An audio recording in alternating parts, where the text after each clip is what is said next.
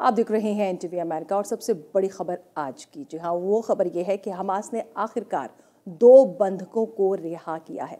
वैसे तो हमास के पास 11 से ज़्यादा ऐसे देश हैं जिनके जो नागरिक हैं सिटीजन्स वो बंधक हैं हॉस्टेजेस उनको बना रखा है। लेकिन अब अमेरिका के दो नागरिकों को, दो सिटीजन्स को रिहा किया है हमास ने। आपको बता दें, ये शिकागो की है, मदर और बेटी हैं जिनको रिलीज़ किया है, तस्वीर आप देख रहे हैं।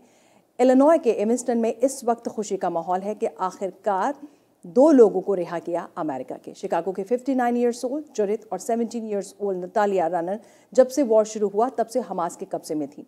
वहीं जुरित और नतालिया की फैमिली को इस बात की जानकारी दे दी गई है, दोनों को सदन इसराइल से हमास ने टेररिस्ट अटैक कर बंधक बना लिया था।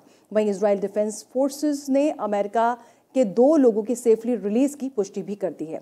कतर गवर्नमेंट के साथ हमास ने एग्रीमेंट किया और ह्यूमैनिटेरियन रीजंस के चलते दोनों को छोड़ा गया है international committee of the red cross ने इस रिहाई को करवाने में मुख्य भूमिका निभाई है गाजा से इसराइल जो है रेड क्रॉस के ज़रिए ही उनको पहुँचाया गया है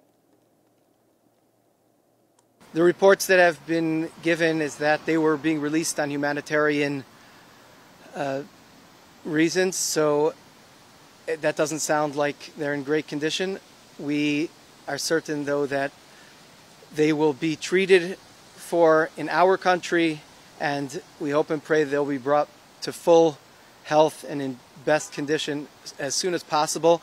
And I look forward to welcoming you all to a huge celebration when they're back home.